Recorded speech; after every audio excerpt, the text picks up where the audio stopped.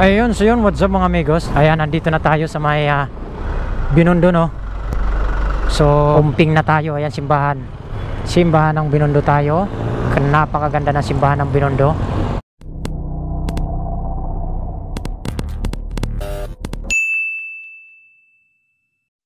Ah, hindi mo maigi tinuturo ko sa'yo, ha? Oo, tapos, ito yung buton.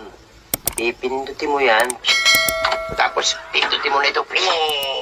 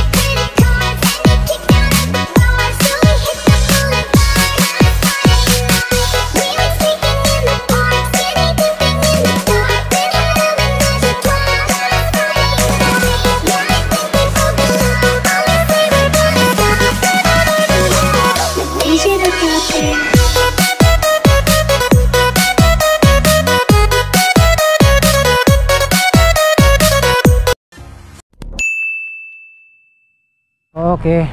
Sukitin tayo, straight.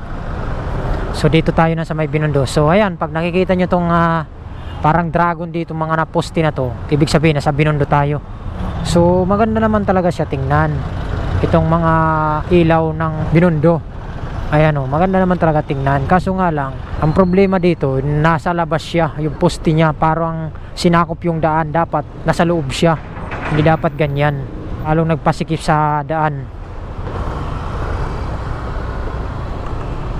Okay, palabas na tayo ng ay di pala pa tayo palabas ng Binondo. Nandito pa rin pala tayo sa loob. Stoplight. Let's go. Kinawayan na tayo eh. Kahit hindi pa green, pag kumaway yung enforcer, go na. Dito tayo daan sa may ah, Lucky Chinatown.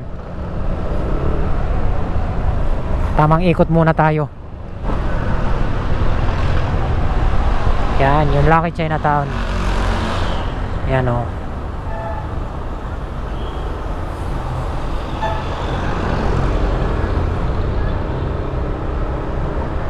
Ikot-ikot, ikot-ikot lang.